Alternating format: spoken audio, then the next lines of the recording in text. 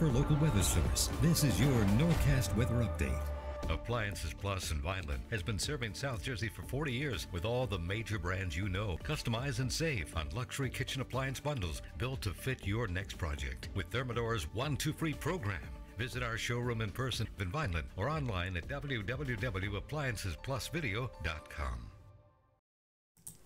Hi, everybody. Meteorologist Brittany Trumpy here. Good morning. Happy Wednesday. We are looking forward to just a bit of a gray day ahead. We're going to be seeing those temperatures kind of on par with what we're used to for this time of year, mid 40s. We are going to stay cloudy and rainy. Now, if you look at these icons, you do see a couple of quick little snow flurries mixed in with that rain, that wintry mix. That's kind of what we're seeing right now. The little bit of uh, rain that kind of brushed through over the past three, four hours that is giving us an opportunity for some freezing rain, a little bit of a wintry mix. The rest of today looks to be mostly just a rain event. So once we get past the little bit of moisture we're dealing with right now, we are really not too concerned about winter weather until maybe the end of the weekend. And I'll talk about that in just a second. But let's talk about today. So again, right now, a couple of quick showers kind of racing across our area. Where those temperatures are still on the cooler side, you might run into a little bit of some ice here or there.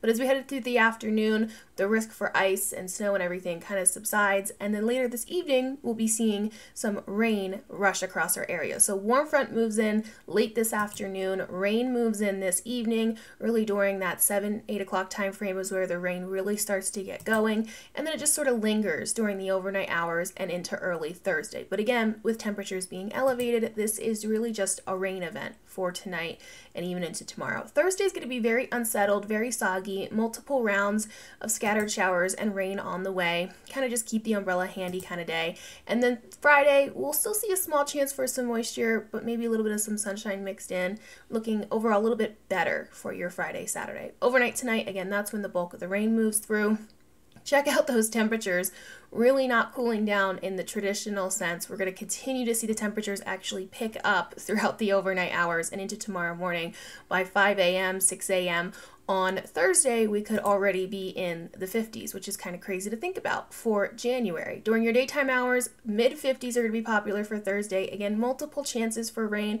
It's not going to be widespread heavy downpours across all of South Jersey. It's just going to be multiple scattered showers kind of popping up and drifting by one after the next, kind of redundant and kind of repetitive.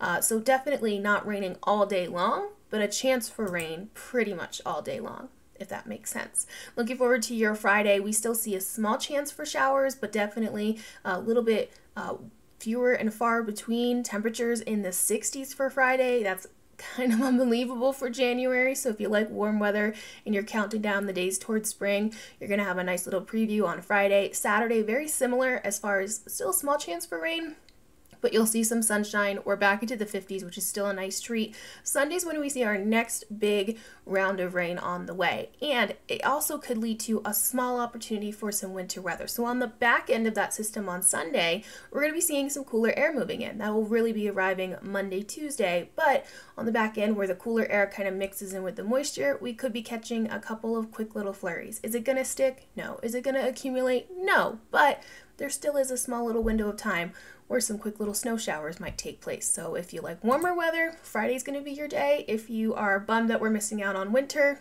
maybe late Sunday we'll see a couple of flurries to kind of give you a little bit of that winter weather that some people like to enjoy.